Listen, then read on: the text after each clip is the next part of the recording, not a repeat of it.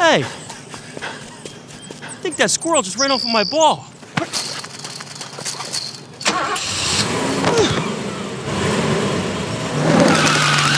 There's a better way to get golf stuff.